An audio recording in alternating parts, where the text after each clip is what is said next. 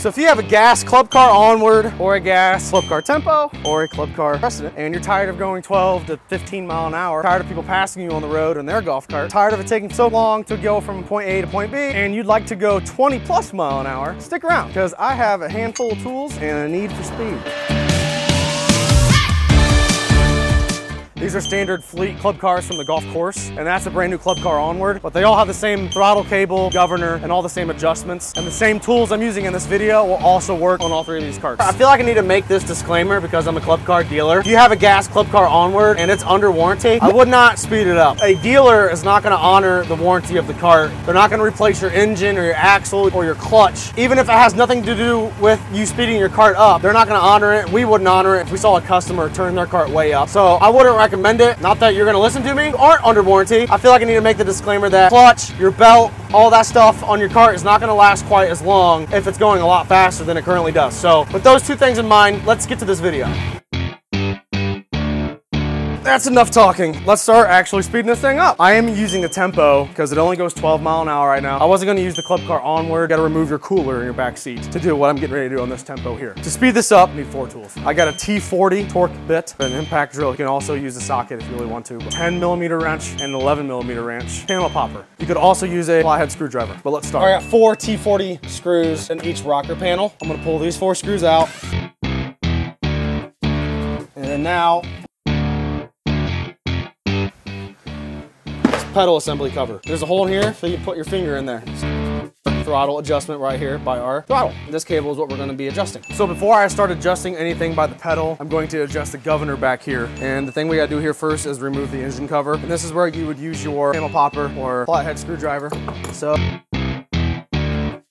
there's a little, there's like little grooves in this. So you gotta make sure you're putting it in the grooves correctly.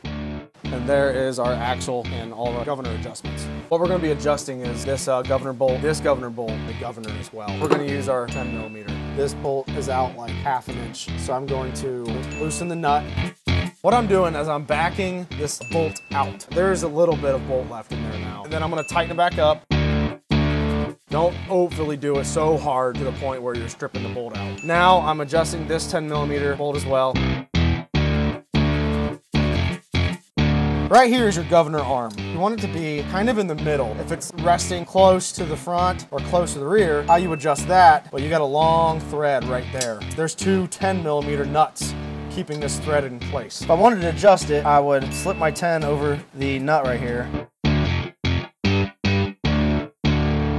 I don't really need to adjust the governor arm, but just in case I did, that nut right there, and then it allows you to move that thread back and forth. So that should be it for adjusting the governor bolts, the governor arm. As long as everything looks like that, it should be good. There's a bolt by your engine to adjust the air and gas. If that's adjusted, that can throw all this stuff out of whack. Only thing we got to do to speed this cart up now is just adjust the throttle cable by the pedal. If you want to see more videos like this, where I'm working on a club car or any other golf carts we sell, then please hit that subscribe button. Or if there's a specific thing you want to see me do, then put a comment below, hit that like button. We've got about an inch and a half of thread on this throttle cable. On the front side, the less thread you have here, the faster the cart is. You want to start loosening one of the nuts, and now I'm going to start running that up.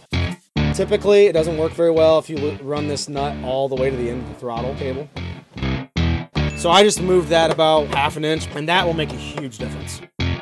Don't over tighten this. There is little washers with teeth on the inside of them right here. Also make sure that this thread is pushed all the way down where this groove is sitting. If you go too far on that thread, the cart won't putt. You won't be able to go one mile an hour and also 20. Thread it out too much, it will just go 20 mile an hour. Stick around to the end of the video because I'm gonna show you a little trick that I do on every gas club car we build and sell. And that's literally all you have to do to speed it up. Let's take this out on the road and speed test it. 19 mile an hour. I'm gonna show you the little trick I like to do. So how we were doing this throttle cable earlier, this is just a plastic piece that the throttle cable is bolted to. This throttle cable was actually coming out. It's just sitting down in the groove. So what I do, I take a screw at least an inch and I put it right at the edge here where I'm against the nut. I run it until that head of the screw is against the nut.